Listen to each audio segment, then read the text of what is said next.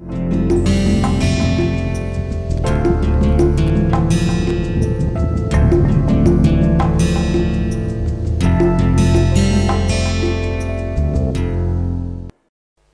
viewers to MOOC's online course on Introduction to Modern Western Art. Today is the second week and the first lecture of second week devoted to the study of Fauvism and Matisse. Matisse spearheaded the movement called Fauvism in early 20th century and that is why it sounds logical to look at the achievements of Matisse in the context of Fauvism as well as outside it. Now, as we have discussed that each and every art movement in the context of modern art in the West tried to innovate something new and add on a new feature a new idea or a new aspect towards the development of modern art. If Impressionism and Post-Impressionism made a big contribution by invoking the aspect of light in a radical way in their paintings. Fauvism would now try to liberate color from its earlier functions and roles. So in a sense, Fauvism is understood as a movement that emancipated color, that made color an independent entity in the art of painting. Fauvism as a movement was short-lived from 1904 to 1908, but its impact was immense. Though the movement withered away around 1908, the Fauvism left a great impact on particularly the art of painting and it changed the way painters perceived color before. Fauvism became a tool to liberate color from its earlier functions and roles. When you look at a Fauvist painting, maybe for the first time, the paintings of the Fauves, they were made by, it seems, they were made by seemingly wild brush strokes and strident colors, while they had a high degree of simplification and abstraction. It appears to be random in application, but in reality, Fauvism emerged as a careful yet intuitive method of color juxtaposition, to a large extent overruling the representational logic of color. And this is crucial to the understanding of Fauvism, that Fauvist artists and Fauvism in general as a movement tried to overrule the representational logic of color, tried to overrule the idea that the color of a particular object should represent that object. As if, to put it simply, the color doesn't have an independent value or independent entity. It is always tied up with object. Now, Fauvist painters like Matisse, Andre Derain, Glanville, and others, they change the role of color, the way the color uh, is perceived by the painters underwent a huge change. And that is one of the reasons why Fauvist paintings often look very artificial. Now, interestingly, the term Fauve in French Fauvisme, style of painting that flourished in France from 1898, this is what is, is usually said, but really speaking, from 1904 we get to see Fauvism uh, as a kind of uh, expressing itself in a big way, in a very vivid way. And uh, it used uh, what did the Fauvist painters actually used. They used pure, brilliant color.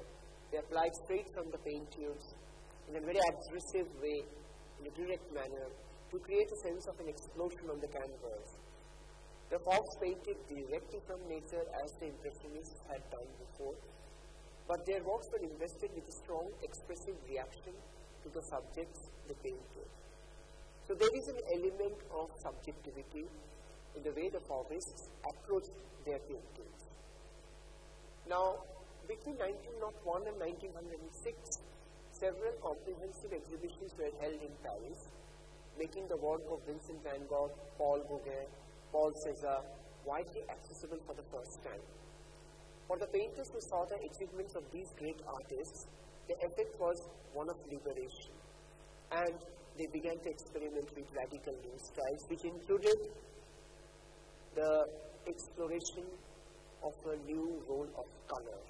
And this is what Fauvism is all about exploring or experimenting with a new role of color. So it is in that sense that Fauvism was the first movement of this modern period in which color ruled supreme, color played a dominant role, not only in terms of its application, but, but also in terms of composing the entire painting. The Fauves represented the first break with the artistic traditions of the past. The movement's emphasis on formal values and expressive use of color, line, and brushwork helped liberate painting from the representational norms that had dominated Western art since the Renaissance. Fauvism was the first explosive 20th century art movement. To the extent that a lot of critics, they thought that these paintings, which today now we consider as or acknowledge as Fauvist paintings and with great, uh, we put a high regard on them. These paintings were looked uh, at uh, with a great amount of suspicion to the extent that a lot of critics thought these are the paintings which uh, look like as if they were done by some wild beasts. And this is what exactly the term Fauve means in French, wild beast. So it is basically a derogatory term. Derogatory term applied by the art critics to criticize the now famous Fauvist paintings. But ironically, what was initially used as a derogatory term, like Fauvism or Fauve or wild beast, became a great name a nomenclature for the movement Fauvism initiated in the early part of 20th century. So look at this painting by Henri Matisse titled Woman with a Hat, Madame Matisse, painted in 1904 and 5. Now, as Matisse himself has said, the color was not given to us in order that we should imitate nature. It was given to us that we can express our own emotions. This is a very important statement that Matisse made here. Because for Matisse and for all the Fauvist painters, color is not something that is preconceived or pre-mediated, something that is already given. Artist is there or the painter is there only to follow it. No, it is not the role of color. Color or the role of color or the very value and definition of color in a painting could be altered and revolutionized by inventing the color. Not necessarily pigment, but by innovating the notion of color. And this is what these people tried to do throughout this movement. And secondly, usually, until Fauvism, color played a slightly subservient role in the sense that contour lines define the form first, followed by color. But in the Fauvist paintings, you see just the reverse is happening. Colors, the body of color, the pigments, the presence of the colors, these things are playing the defining role for the forms and lines might be following or lines may be completely absent. It doesn't matter. But colors uh, are playing the role of defining the form, giving uh, an embodiment to the form, giving a status, a visual status to the form. For that matter, if you look at this painting called The Open Window by Matisse, you can see what exactly Fauvism were trying to do. They were up to a kind of aesthetics where color will play not only a dominant role, but color will play the, the role of defining the forms, establishing the forms, visualizing the forms. Color will become, and it did become in the hands of the Fauvis painters, the principal tool for a painting. Now, apart from Henri Matisse, there were other painters, as I have already mentioned, like Andre Derain.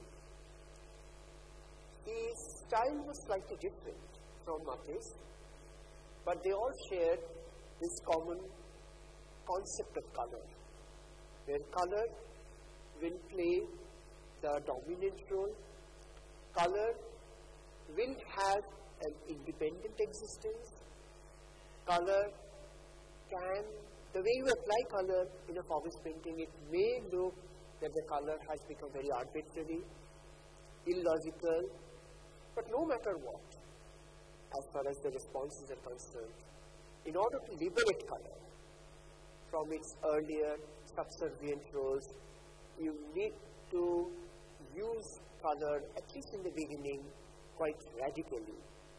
So what looks arbitrary is actually not arbitrary because uh, artists like Derain and Vlaminck, they figured out a certain intuitive way of juxtaposing various colors, however illogical it might look at the face value, they are not actually illogical. They have their own reason, own logic, and own intuitive uh, rationale. And this is something that the Fauvists built up over the years through their many drawings and paintings, mainly paintings, and uh, consistent practice. This was difficult, really speaking, for the Fauvists as well as for the viewers to receive this kind of painting where color seems to be uh, ruling uh, amok and creating a kind of havoc in the painting where um, age-old and time-tested visual elements like line, perspective, space, everything has become, if not totally irrelevant, but very insignificant, and color has become the principal visual element in these paintings, like this one as well. So repeatedly you can see this is what these Fauvis painters are continuously trying and they are able to do it very successfully. That is trying to push color up as the principal visual element in a work of art. So much so that there might be areas in a work of art, in a painting, from the point of view of Fauvis painters, where the color may not necessarily conform to the identity of the object. You may apply a color or put a color which is different or in contrast to the identity of that object. So, Fauvism, in that sense, opens up a new visual language possibility by providing a new liberation, a new freedom to the color. And all these painters like Derain, Vlaminck and Matisse realized it very soon that what they are doing was something revolutionary.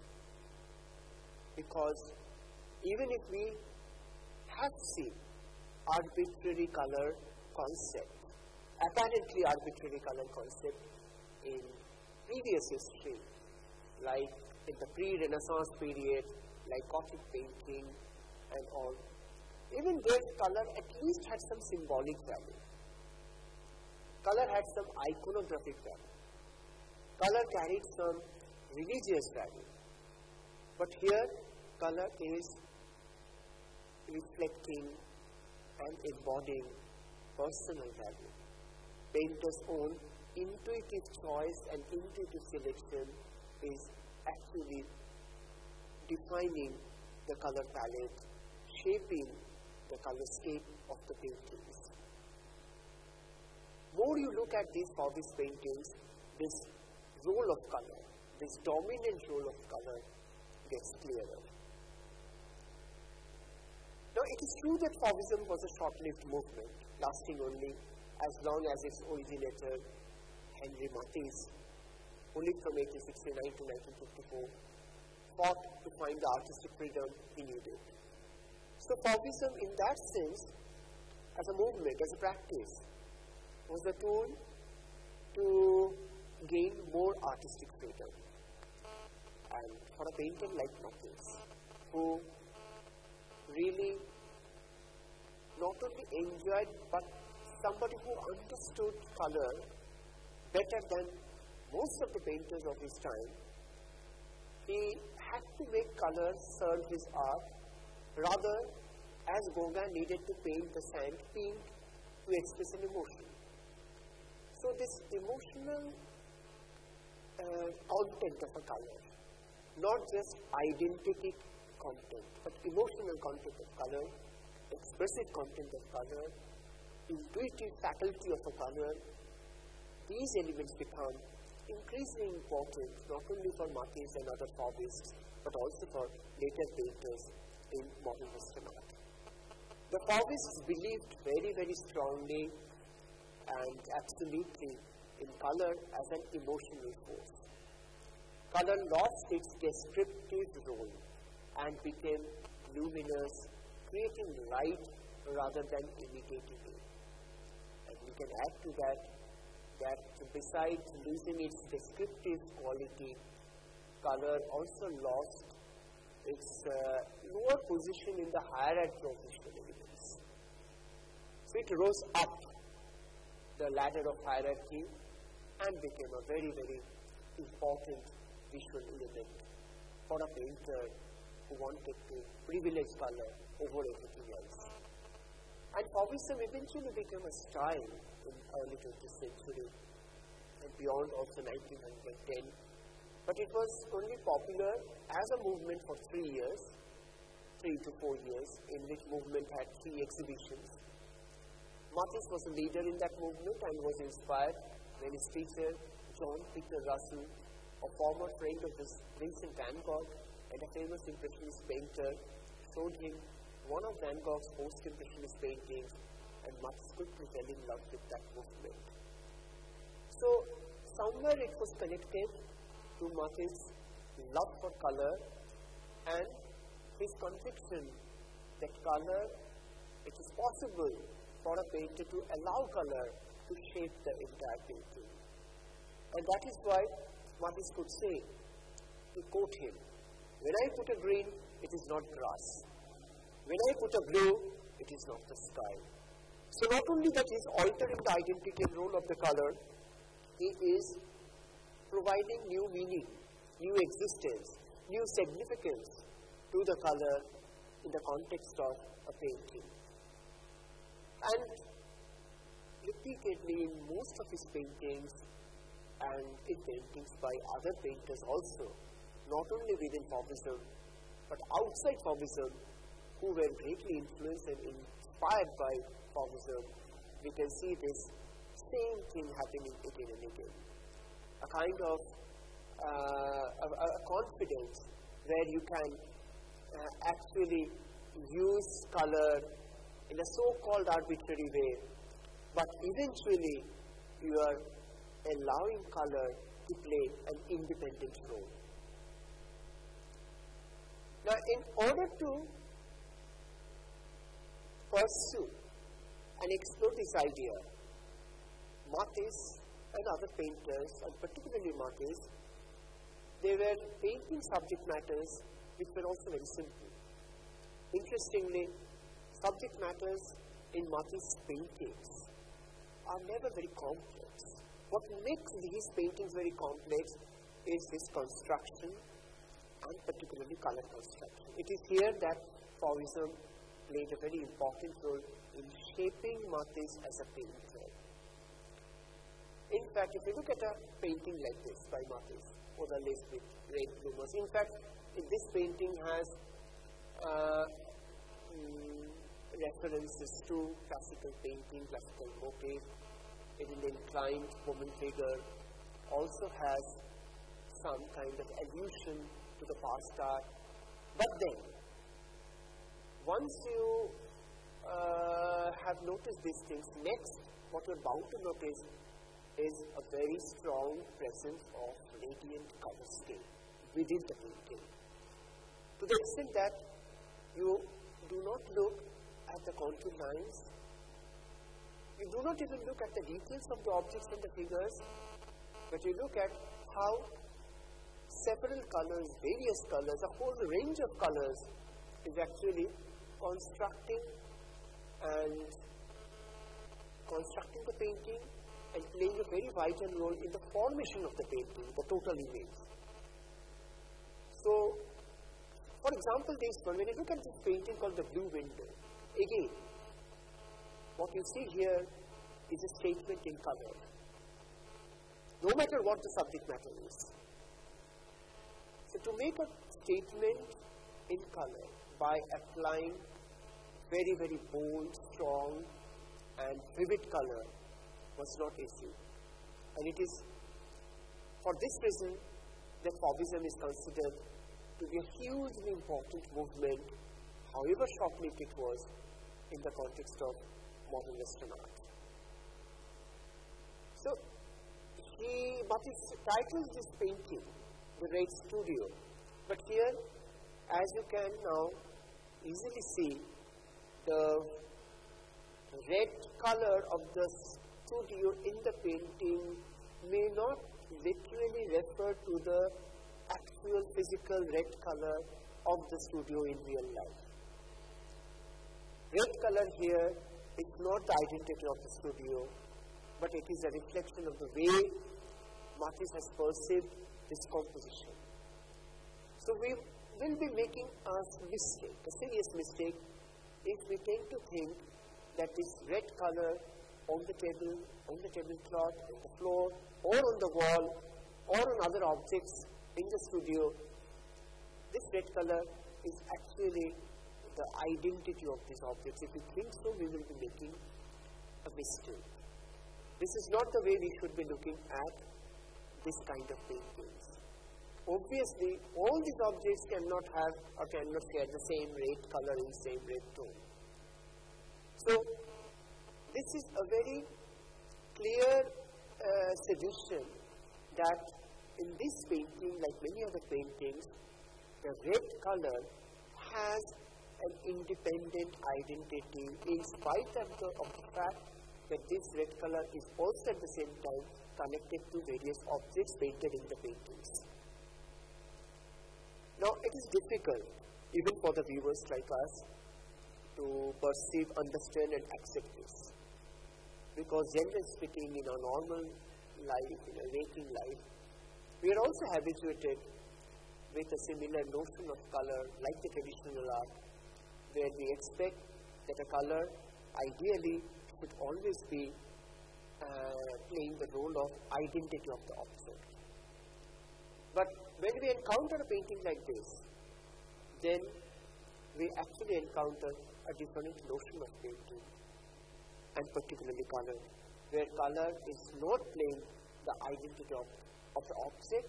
For example, this one also, color is playing an independent role. And marginally it is also there as a part of the identity of the object, though we know from these paintings and the previous one that a few lines, contour lines, a few divisions within the painting are there to clarify the differences between the table and the wall, wall and the chair, chair and the table back again. But otherwise, this dominance of a particular color inside the room, dominance of another color outside the room, they have an independent entity. And once we are able to respond to that, then uh, we are ready to actually enjoy and appreciate Fauvis's paintings. Here also, This painting has a very simple title called Dance too, but really speaking, more than, and of course this painting does evoke a sense of joy, a sense of celebration, but there is uh, nothing more into it as much. Uh, I mean, if you are um, looking at the details, if you want to see more details of who these people are, why they are dancing, what is the physical context of this dancing, now this picture will not give you any such detail. What you are supposed to enjoy and appreciate and notice in this kind of paintings is first of all a very strong presence of color and secondly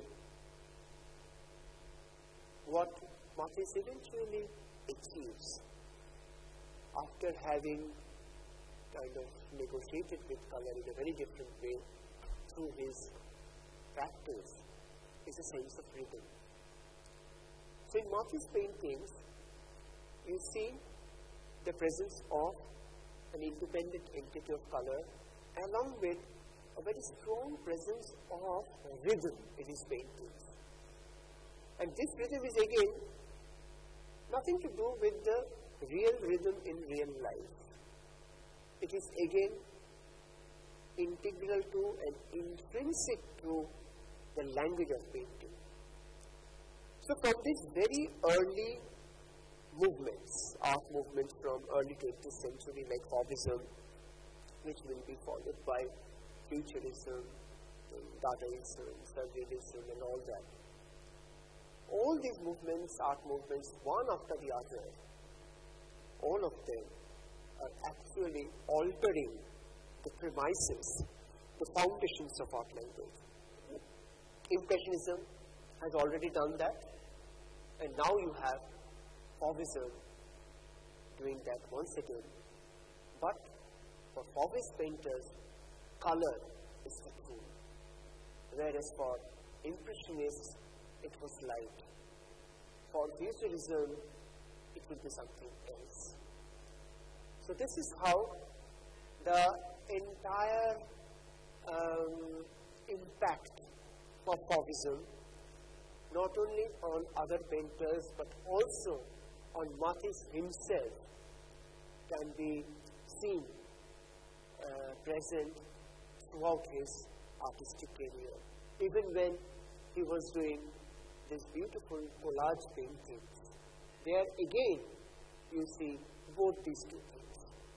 One, a strong presence of color which is playing a very formative role in the painting, and second, a sense of rhythm in the composition. Otherwise, if you look at these works, these works really do not have anything very complex or complicated in terms of subject matter. It is only the way you arrange them, the way you compose them, the way you make them behave in a particular work of art. And this is what exactly Matisse achieves. And through his hands, the language of painting becomes an independent act, not necessarily always tied up with specific subject matter or topic. So, this is where Fauvism becomes a very significant movement, which will be followed by other equally important movements, all happening in the early part of 20th century.